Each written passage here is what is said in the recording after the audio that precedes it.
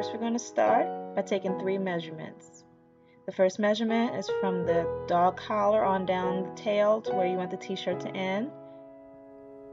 The second measurement is going to be the width around the body. And the final measurement is going to be on the belly from the bottom of the dog collar on down to where you want the t-shirt to end. Next, you can take one of your dog's old t-shirts or even a baby onesie tuck in the sleeves and lay it flat on top of the t-shirt covering the logo completely and trace an outline. You can even just use the measurements that you did previously and create your own outline.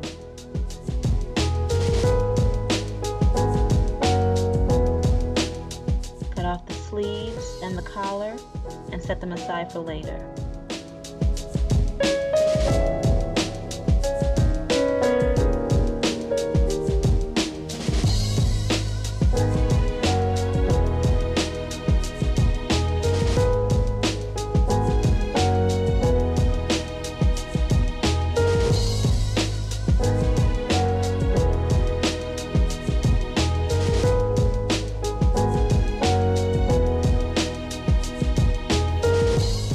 Now to create the front part of our t-shirt, we're going to use the back piece as our guideline and we're going to chalk out just the sides and the top.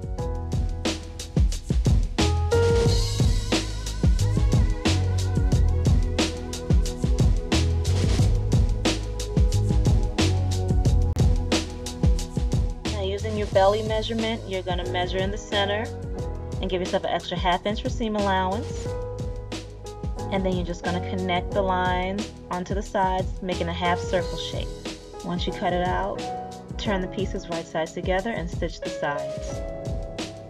Fold the bottom of the t-shirt under, fold it under twice, and you can either press it down with an iron or you can pin it down to secure it and we're going to do the same step all along the bottom of the t-shirt.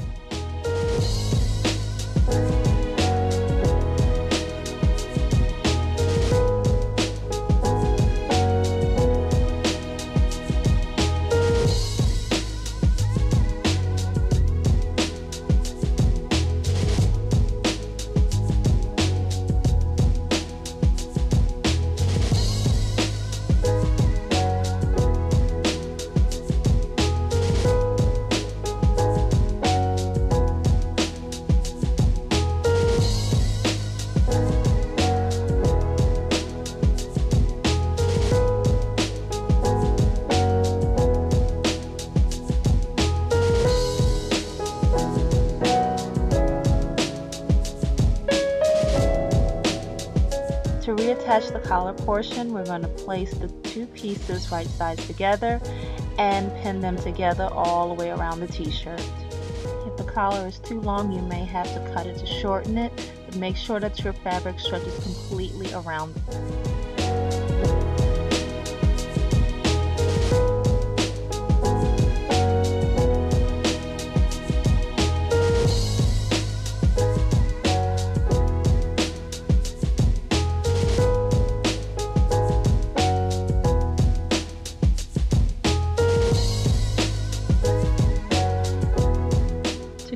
Create a sleeve, you can either use an old dog t-shirt or onesie as a guideline, or simply just follow the shape of the sleeve itself. I'm going to chalk out a line a little bit higher because I want the sleeve to be longer.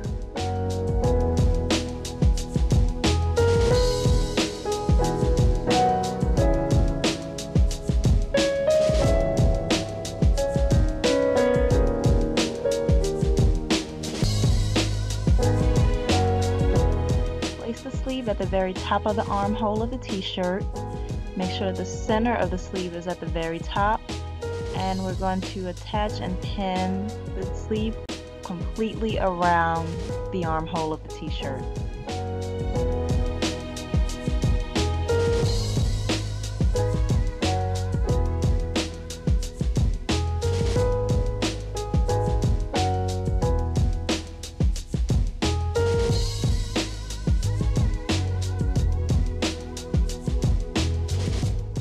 Final step, stitch completely around the armhole, then gather the two side seams together and stitch a line going down.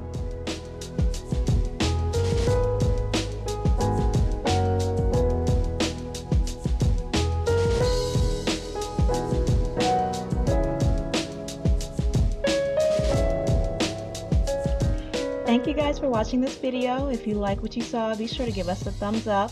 And if you want to see more videos like this featuring Petey, be sure to like and subscribe to my channel. Also follow us on Facebook and Instagram, both under the name Sew Shall You Reap. From me and Petey, until next time, ciao.